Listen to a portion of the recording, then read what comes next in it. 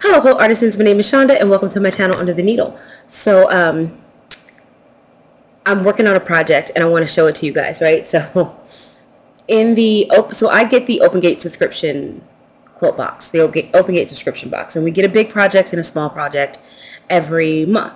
And this this uh, this month's larger project was a table runner.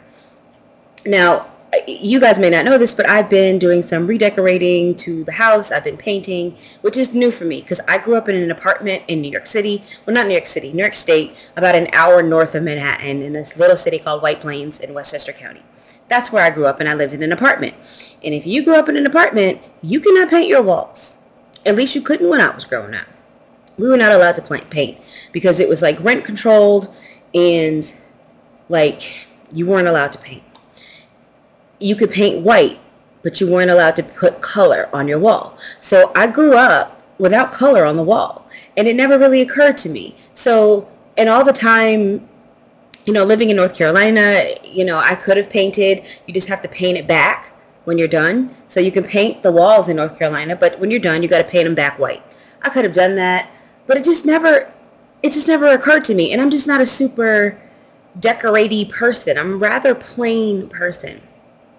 So we've got, you know, been doing all this painting and um, and we got do some new furniture and everything's starting to look, come together and look good. And um, there was a wall hanging that I made from last month's box that I was, that I'm using as a table topper. But the table's kind of long and I wanted um, a table runner. So when we got the project last, um, this month for a table runner, this little puppy right here, I was like, this is cute. I love these little pinwheels. Um, love the pattern, but I did not want to make it in the fabric that we got for the pattern because I wanted to make it match my home, specifically my kitchen. So I decided I was going to take the pattern, go into my stash, and make it from my stash.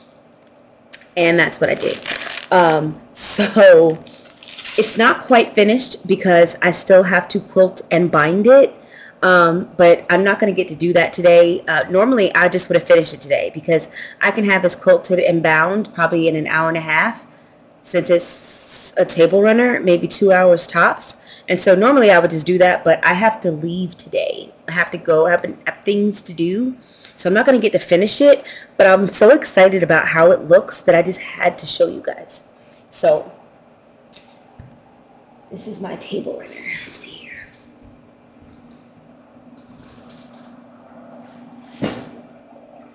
It just it's just very beachy. It gives beach vibes, and that's kind of what um, the furniture and the like the colors in the house. It's it it gives beach vibes, and so does this. I love how the little pinwheels pop. Um, I just took 10 fat quarters from my stash. And of course, I pieced the back with leftover fat quarters I've got four, four fat quarters here. But, um, yeah, so, like I said, it still has to be quilted and bound. But I just love the vibe of it. I just love how it came, to, came together. I really didn't put a lot of rhyme and reason into it. um, the main part was um, the the cutting, right? Because this was this pattern was designed to go with a charm pack and I wasn't using a charm pack. So um, I had to make sure that I cut the right amount of squares. So it, there was a little math involved. I had to do a little conversion math to make it work specifically with 10 fat quarters.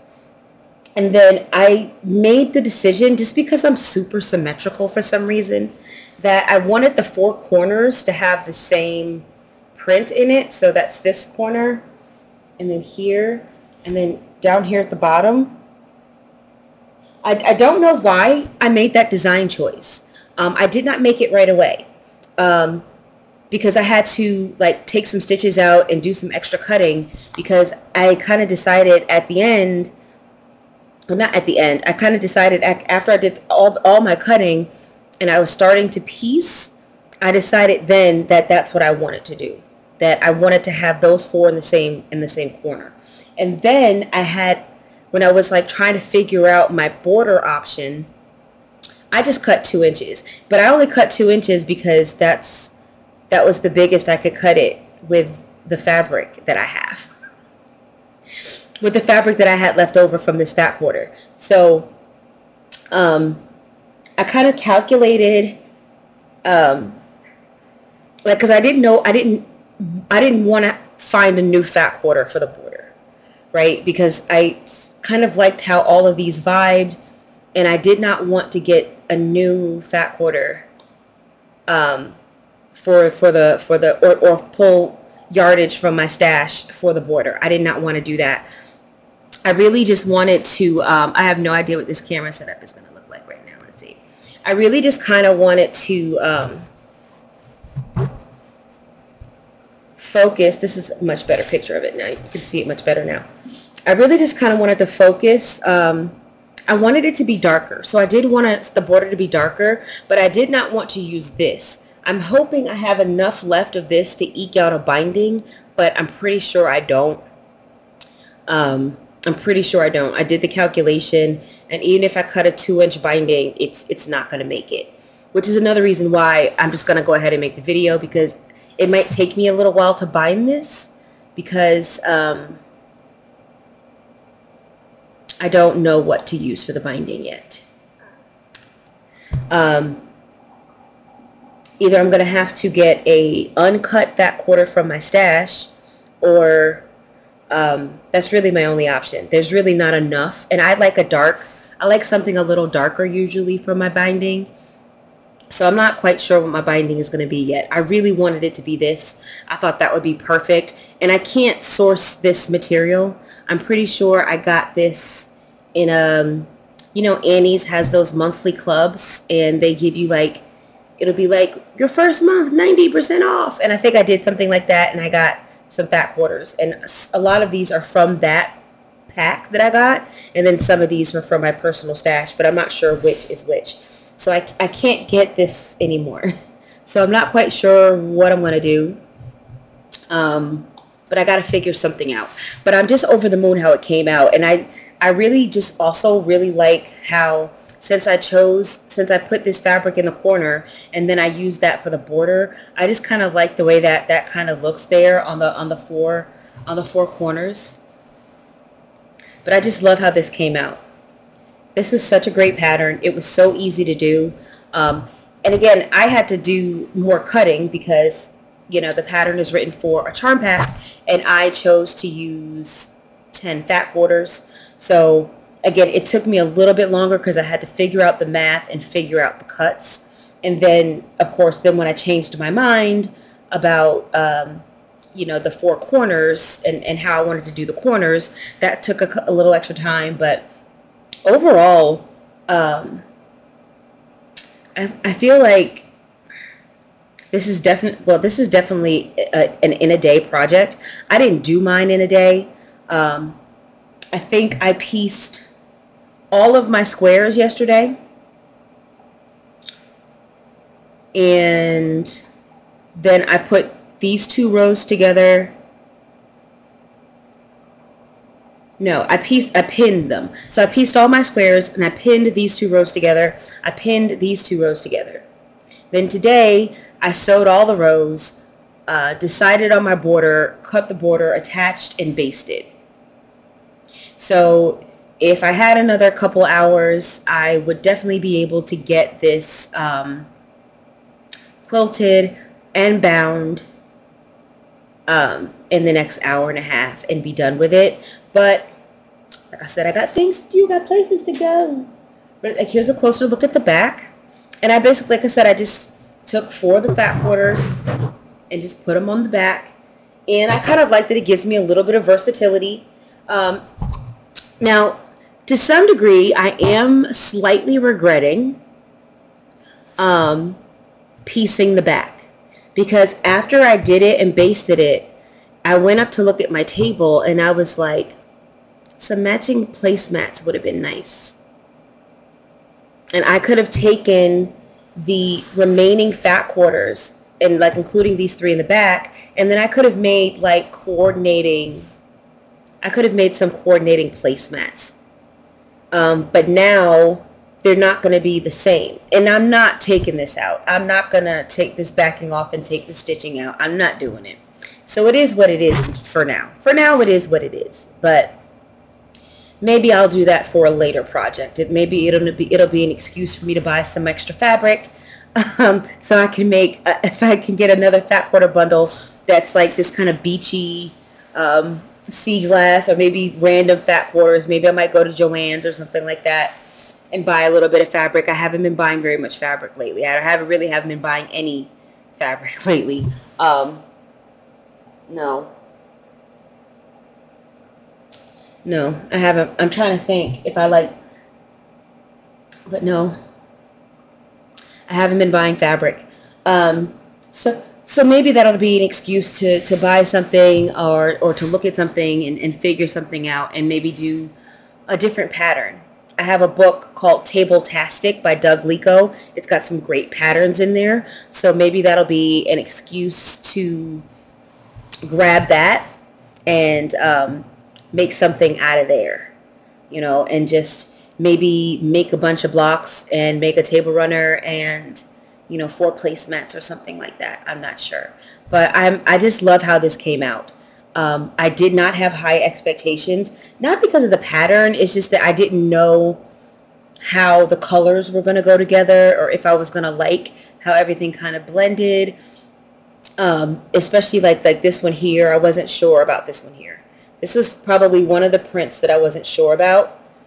And one of the reasons why I did this in the corners I'm remembering my thought process now, was because of the color. It was just so much darker than everything else. Everything else is a bit kind of washed out. But um, this fabric here is just, it was just so much brighter um, than everything else here. And this one was as well. And so I was a little concerned that um, it would stand out too much in the quilt. And so that's why I relegated them to the corners to kind of prevent that from happening. And then I was worried about this fabric here, but because this is brighter, and I think also putting this on the border helped to minimize this, the brightness of, of this and made it stand out less. Um, my favorite print in this entire thing is this one right here, probably because it's a little paisley-ish, and I have a huge uh, love of paisley it is, it is, I love Paisley. I've said this before, I love all of the old people prints. So I love Paisley, Houndstooth. There are more, but I can't think of them. I love that type of stuff. So um, this is my table runner. It's called the Strawberry Swirl Table Runner uh, because it was meant to go with the Strawberry Swirl fabric. However, you know, I did not use that. So maybe we can call it, I don't know, beachy paradise or something, or beachy swirl, beach swirl. I don't know. I don't know. But I love it. Um, I won't get to work on it more today, but I will definitely get this quilted. I don't know, maybe tomorrow. I'll probably just go ahead and finish it up, get it quilted tomorrow, and go ahead and get it bound if I can find a binding maybe that's what I'll do today. So to finish this up today, I will find, I will locate the fabric that I'm going to use for my binding, but I won't actually get to quilt or bind it until tomorrow. But um, I love how this thing came out. Another great pattern from Open Gate Quilts. And just to show that, like, even if you get a subscription box that has a kit, you can be more versatile than that. You can take that you can take that and you can use you can use that pattern and use your own fabric or even choose your own layout. Like there are no rules here. There's no rules. There are no quilt police. We get to do what we want. Like that is the best part about this hobby is that I get to do what I want. And a lot of times what I want to do is follow somebody else, right? Because that's part of the joy for me. For some people, the joy is the creativity of creating something and for me, it's really not that. For me, the joy is in not thinking because I'm not really, I don't consider myself a creative, right? I don't really, I don't see patterns and I'm like, ooh, let me, because I've seen some patterns and I'm like, I don't even know how you thought to do that. So that's not my gift. My gift is not coming up with unique patterns. That's clearly Monique's gift, but it's not mine. Uh, my gift is, or I just like to be able to just make something, to see something and be like, okay, I can make that. And maybe change some colors around or maybe change a layout or maybe change. But for the most part, I just, I'm, I'm totally okay with laying it out the way it's written. I am totally okay with following a pattern the way that it's written. A lot of people, you know, they call it rebel behavior. If you familiar with uh, familiar with Gudrun um, over at uh, Goody's GE Quilt Designs, if you're familiar with her, she encourages rebel behavior. She encourages you to not follow the rules and to do what you want. And for me, I'm more of a rule follower. I've always been a rule follower. I'm a rule follower even in my quilting. Um, but I get to do what I want. The rules that I set are the rules for me. And so I like, so for me, I like symmetry. That's one of my rules. I like for things to be symmetric. I personally like for things to be um, as as close to right as possible, but they don't have to be perfect. Like I am I'm shocked and amazed about how well these points came together because I didn't try to make them come together. You know, there's a way that you can force your points to come together. I didn't do that. I literally just pinned and sewed and the points are perfect and I don't even know how that happened. I don't know how these points got so good, but the points look great. This thing looks great. Even though it's not finished, I'm tempted to just go put it on my table anyway because I just want to see it. I want to see it in its natural habitat. So I think that's what I am going to do. Anyway, that's it for me, and I'll see you guys next video.